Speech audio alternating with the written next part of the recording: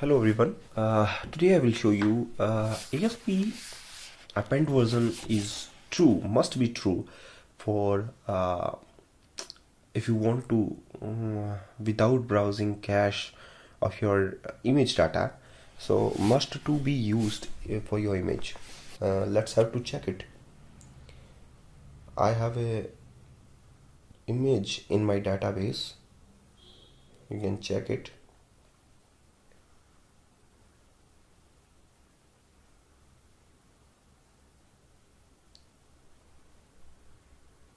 oops.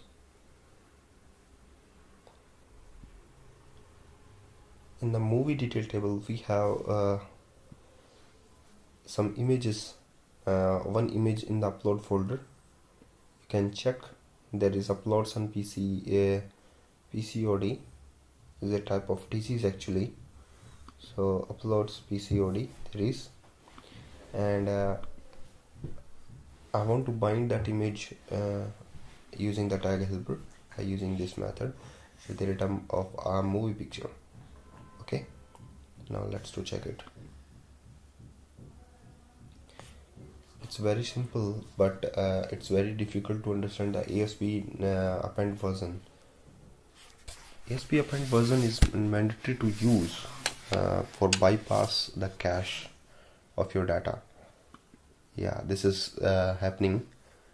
If you use a simple ASP append version with your image is true.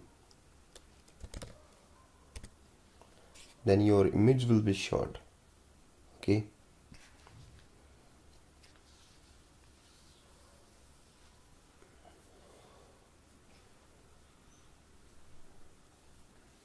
Yeah this is.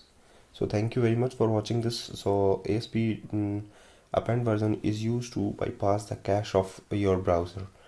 So thank you very much